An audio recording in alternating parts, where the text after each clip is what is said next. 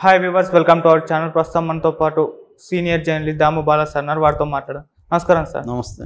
Sir గిడ్డంగుల chairman అలాగే గాయకులు సాయి చంద్ మరణించిన తర్వాత ఆ పదవిని వాళ్ళ భార్యకు ఇవ్వడం రజనీ గారికి. అయితే ఇప్పుడు రజనీ సాయి చంద్ అది గతంలో ప్రభుత్వం ఏం చేసిందంటే రజనీ సాయి చంద్ గారికి వాళ్ళ ఫ్యామిలీకి కోటి రూపాయలు అలాగే వాళ్ళ ఫాదర్కి యాభై లక్షలు ప్రకటించింది. అది ఇప్పుడు అలా ఇవ్వడం జరిగింది. సార్ దీనిపైన మీ ఒపీనియన్ సార్ యాక్చువల్గా మనకి తెలుసు ఆ, సాయి చంద్ ఎంత గొప్ప కళాకారుడు.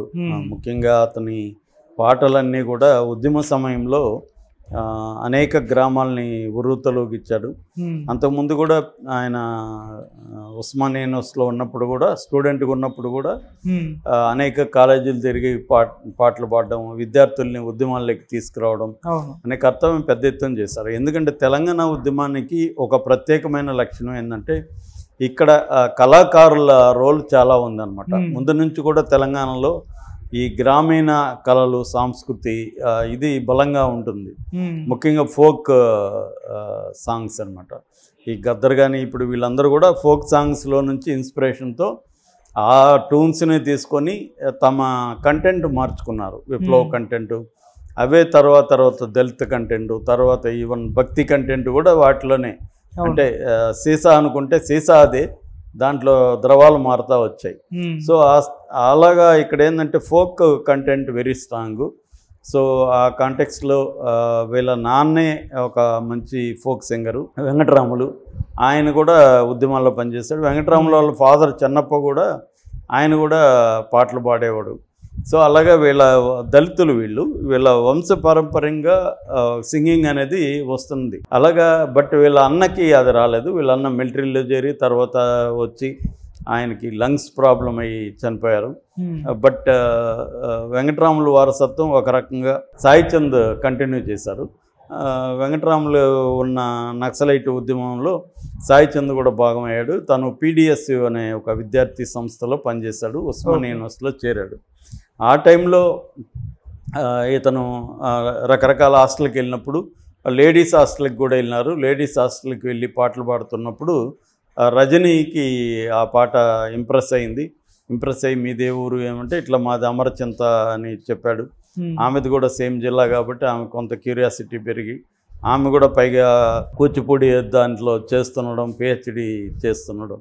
దాంతో ఇద్దరు అలా పరిచయం అయ్యి ప్రేమలో పడ్డారు. అయితే ఆ, సాయి చంద్ ఆ, ప్రేమించినప్పటికీ కూడా ఈమె అప్పర్ కాస్ట్ అతను దళితు. సో ఈ ప్రాబ్లం ఉంటుంది. సా ఆమెమో నేను మా ఇల్లు అన్నీ అందరిని వదిలేసి నీ కోసం వస్తానని చెప్పింది. బట్ సాయి చంద్కి అది ఇష్టం లేదు. ముందు అసలు నా బ్యాక్గ్రౌండ్ అన్నీ తెలుసుకోవాలి నువ్వు. ఎందుకంటే రేపు ప్రేమ పేరుతో ఇప్పుడు ఏమి కనబడదు. తర్వాత తర్వాత అన్ని ప్రాబ్లమ్స్ బయటకు వస్తాయి. హ్మ్. సో అప్పుడు నువ్వు అడ్జస్ట్ కాలేక మా బ్యాక్గ్రౌండ్తో ప్రాబ్లమ్స్ రాకూడదు. అని చెప్పి తను అమరచంద్రకి తీసుకెళ్ళి వాళ్ళ ఇల్లు వాళ్ళ నాన్న తను పెరిగిన ప్రదేశాలు. అంటే దళిత సంస్కృతి కంప్లీట్గా వేరే ఉంటుంది. అది అప్పర్ కాస్ట్కే అర్థం కాదు.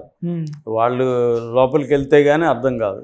ఎందుకంటే ఆహార వ్యవహారాల దగ్గర నుంచి అన్ని రకాల ఇది ఉంటుంది. రెండోది వాళ్ళు అంటరాంతనానికి ఏదో ఒక రకంగా గురవుతూ ఉంటారు. సో ఇవన్నీ చూపించి అలవాటు చేశాడు ఆమె. దీనికి ఒక దాదాపు ఎనిమిదేళ్ళ టైం తీసుకున్నారు పెళ్ళి చేసుకోవడానికి. ఆ తర్వాత ఇదొక పక్క చేస్తూ రెండో పక్క వాళ్ళ ఇంట్లో కూడా ఒప్పించడానికి కూడా ట్రై చేశాడు బిగినింగ్లో వాళ్ళంతా ఇష్టం చూపించినట్టు లేదు కానీ ఈ లోపల తెలంగాణ ఉద్యమం రావడం. ఇతను కేసీఆర్తో కూడా అనేక సభల్లో పాల్గొనడం ఇతని పేరు అన్ని చోట్ల మారుమోగిపోవడంతో వాళ్ళ ఇంట్లో వాళ్ళకి కూడా అర్థమైంది ఇతను ఒక గొప్ప కళాకారుడు తెలంగాణ ఉద్యమంలో కీ రోల్ ఉంది.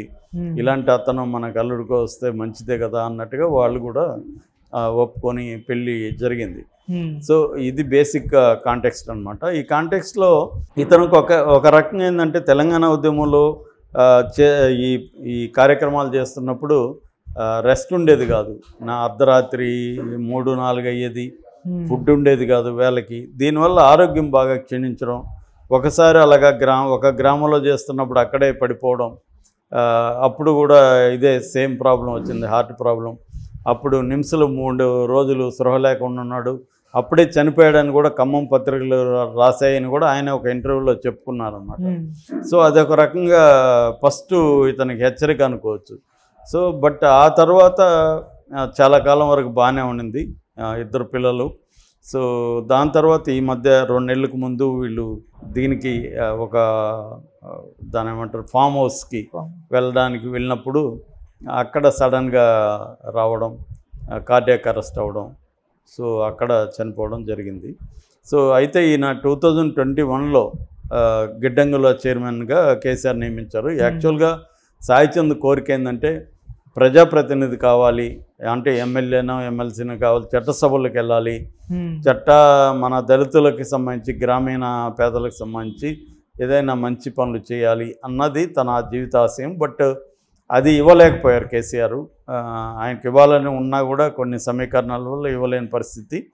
అందువల్ల ఆయనకి గిడ్డంగుల చైర్మన్ ఇచ్చారనమాట సో ఈ ఈ క్రమంలో ఆయన చనిపోయారు. చనిపోయినప్పుడు కేసీఆర్ ఎందుకంటే రాష్ట్రం ఏర్పడినాక కూడా కేసీఆర్ సభలకు అన్నిటికీ ఈయనే ఈ కళా కార్యక్రమాలని. సాంస్కృతిక కార్యక్రమాలని చూసుకునే ఇన్ఛార్జ్ అనమాట అందువల్ల కేసీఆర్ కంప్లీట్గా డిపెండ్ అయిపోయి ఉండేవాళ్ళు సాయి చంద్ మీద.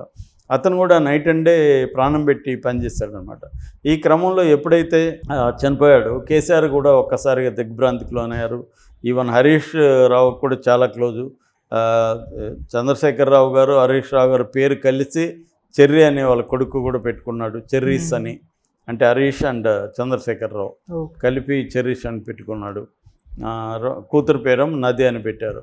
సో ఇలాగా అంత ప్రేమ చూపించారు కాబట్టి వాళ్ళు కూడా అంత ప్రేమ చూపించారు చనిపోయిన తర్వాత.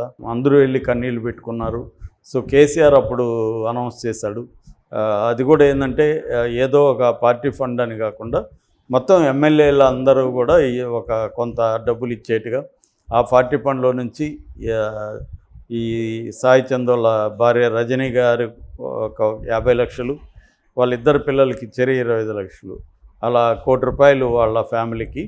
అట్లాగే ఆ, సాయి చంద్ గారి ఫాదర్ వెంకటరాములు గారికి ట్వంటీ ఫైవ్ ల్యాక్స్ తర్వాత వాళ్ళ సిస్టరు సిస్టర్ అంటే వీళ్ళ మదర్ చిన్నప్పుడే చనిపోయినాక ఆ, సాయి చంద్ గారి ఫాదర్ వెంకటరాములు గారు ఇంకొక మ్యారేజ్ చేసుకున్నారు. ఆమెకు ఒక పాప ఉంది. ఆ పాప ఉజ్వల.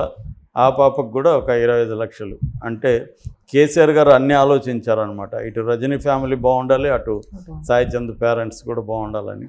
సో అలాగా మొత్తం అందరు కలిపి one and half crore announce చేశారు. ఉమ్. అనౌన్స్ చేసిన తర్వాత జాబ్ కూడా ఆ జాబ్ ఈ అమ్మాయికి అనౌన్స్ చేశారు. ఉమ్. అది కూడా ఇమ్మీడియట్గానే ఇచ్చేశారు. ఆమె జాయిన్ అయిపోయింది కూడా.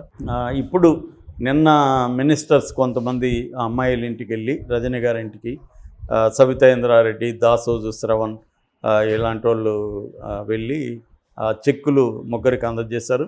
అట్లాగే అక్కడ మినిస్టర్ శ్రీనివాస్ గౌడ్ గారు బాల్క సుమను వీళ్ళందరూ మహబూబ్ నగర్ వెళ్ళి వాళ్ళ. ఫాదర్కి కూడా రెండు చెక్కులు ఇచ్చేసి వచ్చారనమాట. ఇది ఇప్పుడు అందరూ కూడా చాలా ఇదిగా చెప్పుకుంటున్నారు. కేసీఆర్ మాట మీద నిలబడ్డారు. చాలామంది ఏంటంటే ఇది అనౌన్స్ చేస్తారు కానీ ఇవ్వరు. అలా కాకుండా ఆయన అది కూడా ఒక గౌరవంగా వాళ్ళని పిలిపించి కూడా ఇవ్వచ్చు. అట్లా కాకుండా వాళ్ళ ఇళ్ళకే మినిస్టర్లను పిలి పంపించి ఇవ్వడం అనేది మామూలుగా జరగదు. మామూలుగా అయితే వాళ్ళని ఎక్కడో పిలిపించి ఎవరో సెక్రటరీలో ఎవరో ఇచ్చేసి పంపించేస్తారు కార్యక్రమం. అట్లా కాకుండా ఈయన ఆ రెస్పెక్ట్ని మళ్ళీ చూపించడం కోసం వాళ్ళ ఫ్యామిలీస్ దగ్గరికి మినిస్టర్ని ఎమ్మెల్యేలని పంపించి అక్కడ చెక్స్ ఇప్పించడం వాళ్ళ ఫ్యామిలీతో కొంత టైం స్పెండ్ చేసి వాళ్ళకి ధైర్యాన్ని ఇవ్వడం అనేది కేసీఆర్ నిజంగా మెచ్చుకోవాల్సిన విషయం ఉమ్. వీళ్ళకనే కాదు ఆ మధ్య ములుగు జడ్పీ చైర్మన్గా ఉన్న కుసుమ జగదీష్ చనిపోయినప్పుడు కూడా వాళ్ళ ఫ్యామిలీస్ కూడా ముగ్గురికి మూడు మొత్తం వాళ్ళ ఫ్యా ముగ్గురు పిల్లలకి ప్లస్ Hmm. తల్లిదండ్రులకి కలిపి వాళ్ళకి కూడా one and half crore rupees ఇచ్చారనమాట కేసీఆర్ ఉమ్. అలాగే తన తెలంగాణ ఉద్యమంలో గట్టిగా తన వైపు నిలబడిన వాళ్ళకందరికీ కూడా ఆయన చూసుకుంటున్నారు అన్నదానికి ఇది ఒక ఎగ్జాంపుల్. రజనీ గారు కూడా గొప్పగా స్పందించారు. కేసీఆర్ని కృతజ్ఞత తెలిపారు. ఏదేమైనా తెలంగాణలో తెలంగాణ ఉద్యమానికి ఉపయోగపడిన వాళ్ళని కేసీఆర్ మర్చిపోకుండా ఇలా చూసుకోవడం అనేది ఖచ్చితంగా మెచ్చుకోదగిన విషయం. Thank you so much thank you